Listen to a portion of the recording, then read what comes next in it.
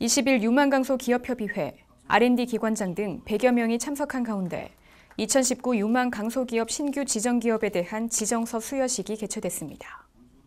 포항시는 지난 4월 초 유망강소기업 선정 모집을 공고하고 자격 요건 및 재무 건전성, CEO 발표 평가, 현장 점검, 강소기업 성장위원회 종합평가 및 심의 등 4단계를 거쳐 최종 11개 기업을 선정했습니다.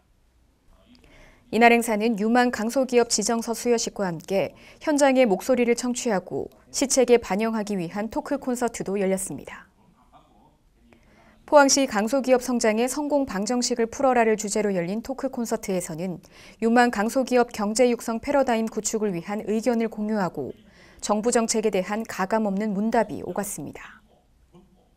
또 일본의 수출 규제, 최저임금 인상 등 지역 기업의 고충을 듣고 향후 지원 방법과 정책 방향에 대해 토의했습니다. 한편 유망 강소기업으로 선정된 기업은 성장 로드맵에 따른 맞춤형 패키지, 직접 지원금, 지정기간 지방세 세무조사 유예 등의 지원을 받게 됩니다. 포항시는 신성장 동력 산업의 발전에 아낌없는 투자를 하고 지역 경기 활력 제고에 행정력을 집중한다는 계획입니다.